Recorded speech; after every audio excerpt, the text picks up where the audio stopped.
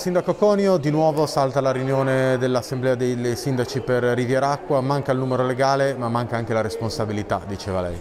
Sì, io mi sono permesso di fare questo appunto, capisco la diciamo, delicatezza di questa data perché comunque ci sono state elezioni che si sono chiuse ieri, l'allerta meteo e quant'altro, però la conferenza dei Sindaci deve essere uno strumento agile che riesca a lavorare perché siamo chiamati a giudicare e a dare indicazioni su temi veramente importanti, quindi il mio auspicio è che ci sia un cambio di passo reale, che la conferenza dei sindaci sia sempre costituita in maniera conforme e corretta.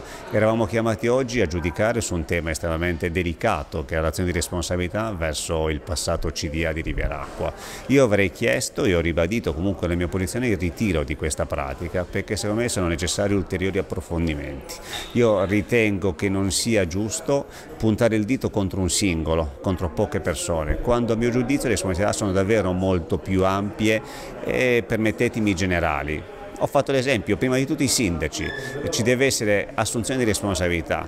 Troppe volte in questi anni la conferenza dei sindaci non si è riuscita a costituire, ma penso alle società cessate che nel corso degli anni, nel momento in cui Riveracqua cercava di dare un servizio, sono state assalite da ricorsi legali, azioni che hanno aggredito la società.